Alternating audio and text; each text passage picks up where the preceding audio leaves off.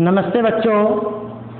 आज एक बार फिर मैं आपका पाठ दस, कक्षा दस सरकार का परावर्तन का भाग ग्यारह लेकर उपस्थित हूँ। बच्चों, इससे पहले भाग में आपको हमने न्यूमेरिकल समझाना शुरू किया था।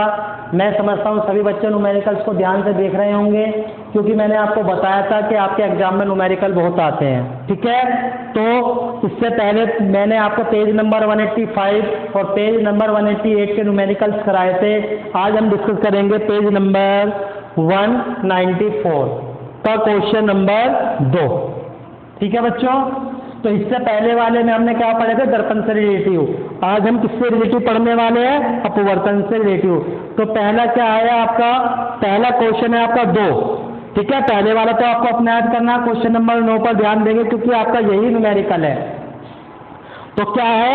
इसने कहा, प्रकाश वायु से 1.50 अपवर्तनांक की कांच की प्लेट में प्रवेश करता है। कांच में प्रकाश की चाल कितनी है? यदि निर्वात में प्रकाश की चाल दी है आपको तीन गुना दस की पावर आठ मीटर प्रति सेकंड। तो चलिए, सबसे पहले क्या दिया है? कांच का अपवर्तनांक। कांच का अपवर्तनांक, है ना? क्या दिया है? 1.5 ठीक है? फिर आपको दी है वायु में प्रकाश की चाल। वायु में प्रकाश की चाल। कितनी दिया बच्चों? ये दिया आपको तीन गुना दस की पावर आठ मीटर प्रति सेकंड। ठीक है? तो पूछ क्या रहा है आपसे? कांच में प्रकाश की चाल पूछ रहा है। ठीक है? क्या पूछ रहा है? कांच में प्रकाश की चाल बराबर आपसे उसने पूछी है। बच्चों, आपका फॉर्मूला क्या था? फॉर्मूला क्या था आपका? अपवर्तनांक बराबर अपवर्तनांक बराबर वायु में प्रकाश की चाल, है? वायु में प्रकाश की चाल बटे कांच में प्रकाश की चाल प्रकाश की चाल यही तो था आपका फॉर्मूला अब बच्चों, अपवर्तनांक कितना दिया आपको? 1.5 ये रख दिया आपने 1.5 बराबर वायु में प्रकाश की चाल कितनी दे रखी है? तीन गुना दस की पावर आठ मीटर प्रति सेकेंड। ठीक है? बटे में आपको क्या आ गया? कांच में प्रकाश की चाल। कांच में प्रकाश की चाल। ठीक है? तो कांच में प्रकाश की चाल आपको निकालनी है। तो आप कह सकते हैं, कांच में प्रकाश की चाल बराबर। देखो, ये इसके बटे में आ जाएगा, ये इधर चला जाएगा। तो ये आ जाएगा आपका तीन गुना दस की पावर आठ मीटर प्रति सेकेंड बटे में 1.5 ठीक है बच्चों? अब क्या करना है इसे आपको हल करना है।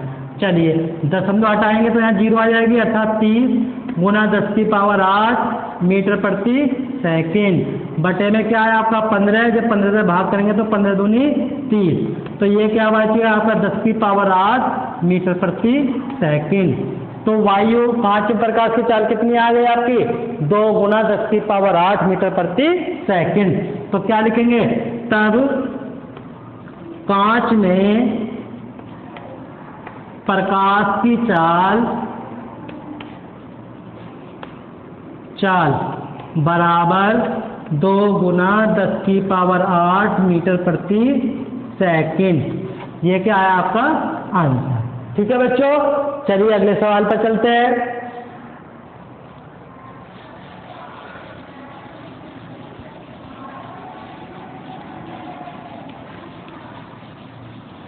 अगला सवाल क्या है आपका? चलिए अगले सवाल को देखते हैं। अगला सवाल है आपका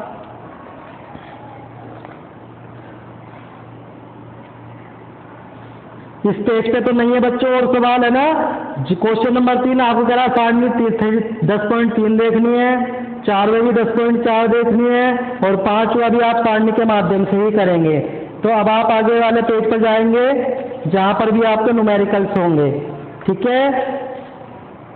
तो नेक्स्ट पेज आता है आपका पेज नंबर 203 है ना?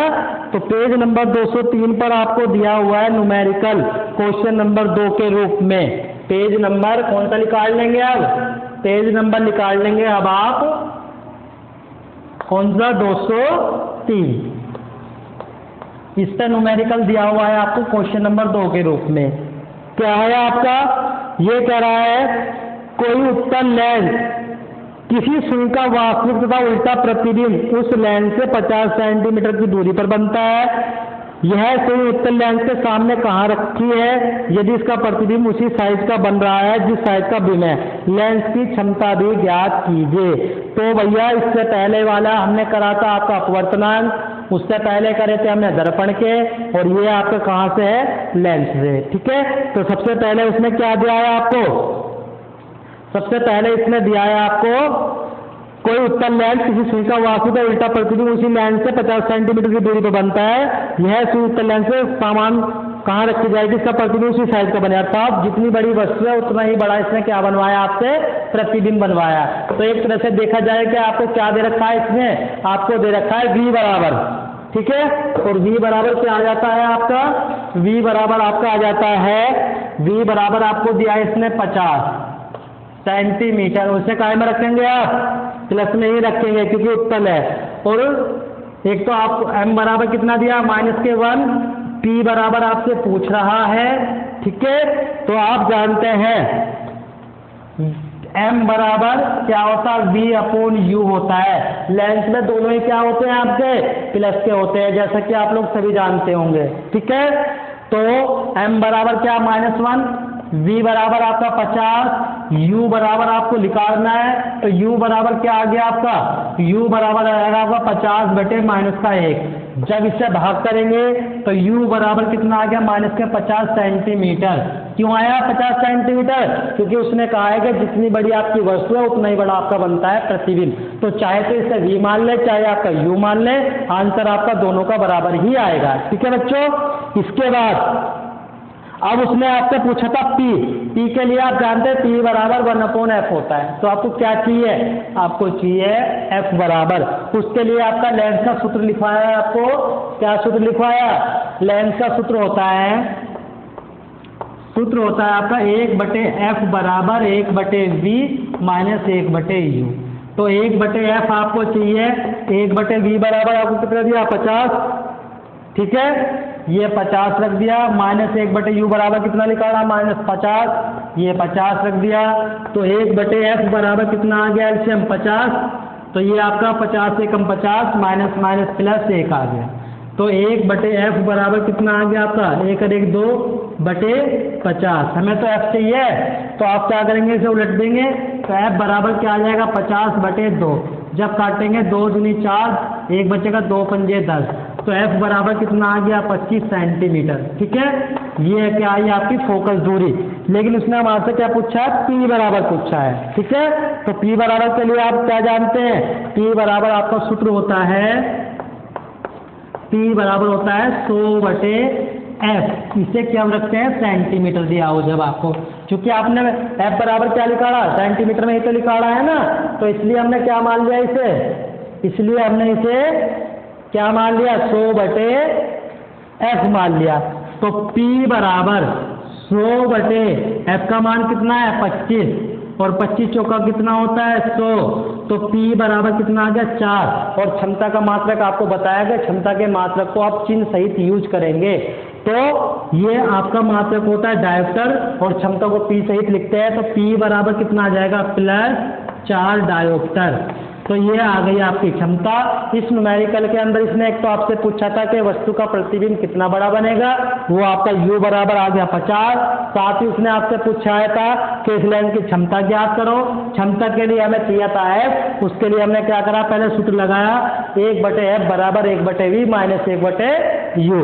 सबकी वैल्यू रखी। वैल्यू निकाल रखने के बाद आपके पास सबका मान आया पच्चीस। और वी नो दैट हम जानते हैं कि पी बराबर होता है सौ बटे एफ़ सेंटीमीटर में। एफ़ का मान आता है पच्चीस। जब पच्चीस से आपने सौ को भाग करा तो आया आपका चार।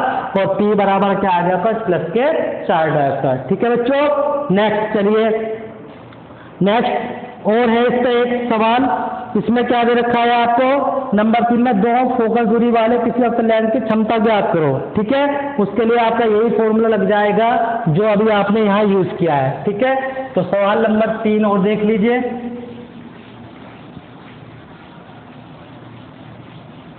सवाल नंबर तीन है बच्चों आपका। आपको दिया है एफ़ बराबर। एफ़ बराबर आपको दिया है दो। क्या दिया है? दो मीटर। काय का लिखेंगे? माइनस का। और P बराबर आपसे पूछ रहा है क्या आएगा? अभी सूत्र लगाया था P बराबर सौ बटे एफ़ लगाया था, तब बताओ जब आपको सेंटीमीटर में दिया हो। यहाँ क्या दे रखा आपको मीटर में? तो क्या लगाएँगे? एक बटे एफ़ ठीक है? तो P बराबर एक बटे एफ़ का मान कितना? माइनस के दो।